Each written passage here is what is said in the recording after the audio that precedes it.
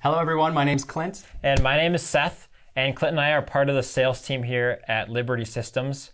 And today we are going to be comparing the Zebra MC 9300 with the Zebra MC 3300. And Seth, the reason why we're looking at these two devices today is because if you're looking at a Zebra device, if you're looking at a warehouse handheld, you're more than likely looking at one of these two. I mean, they are two of the most popular warehouse devices in the industry right now. Um, so let's just kind of start it off. I mean, when you're talking to customers about some similarities between these two, you know, what are you talking about first? Yeah, the first thing I'm talking about is both of them are going to be offered in either a standard or a long range scan engine. So the long range will scan all the way up to 70 feet, and then the standard range is going to go about two feet, about an arm's length.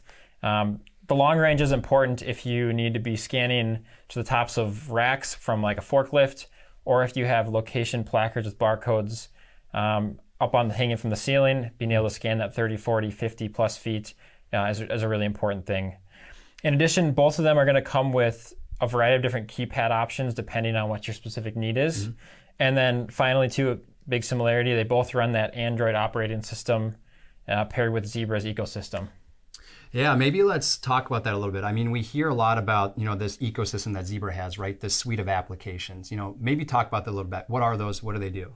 Yeah, a couple of ones to mention in that it would be like a push to talk. So basically what that does is it allows you to uh, take away the walkie-talkie and do communication from device to device. Another one would be um, Stage Now, and what that is is it allows you to basically scan a barcode and then it push out, pushes out a configuration to the device, you know, within seconds. Wow. Okay. So I've kind of talked a little bit about the similarities here. Clint, what are you talking about if we're looking at the biggest differences? Yeah, I think you know when I'm talking with my customers. I mean, obviously the the first main difference you see right away is the size difference. Uh, you know, the MC93 it's it's much bigger. It has a larger screen, um, has larger keypad and larger keys. Hmm. Um, where obviously the 3300 is a little bit smaller, little bit lighter weight. Um, but there's a reason for that. I mean, the 93, it's, it's purpose built for those harsher environments. So you can drop it, you can bang it around. It's going to withstand those drops. Whereas the 33, maybe it isn't purpose built for those most rugged environments, mm-hmm. but you know, it's still going to be meant for those maybe light warehouse use, retail type processes. Sure. You kind of hit on a little bit, but what are the drop specs on these?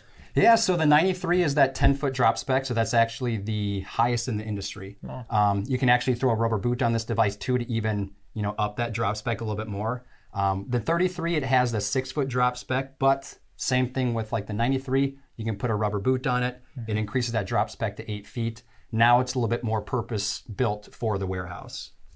Great. Um, you know, and a lot of questions I get when we're in the warehouse, Seth, is you know, hey, Clint, does it matter what kind of application I'm using? Should that dictate what device I'm looking at? No, it shouldn't dictate which device you're looking at if you're solely basing it off which application. So whether you're coming from a maybe an older Windows legacy unit running terminal emulation, that's going to work great on either of these. If you're if you need to download a, a native Android application, both are going to work well, um, as well as a web-based client as well. So um, with that, I will say if you're using a web-based client, sometimes a little bit bigger screen, which comes on the MC9300, might be um, something to consider, just because the rendering can come across a little more clear and a little bit more of a friendly interface with a larger screen if using a web-based app. Okay. Um, and let's say, for example, I am going to be using that web-based app, right? And I'm going to be using the 9300. Obviously, larger has that bigger screen, bigger display. Mm-hmm. Am I going to be burning through a lot more battery using the 93 over the 33?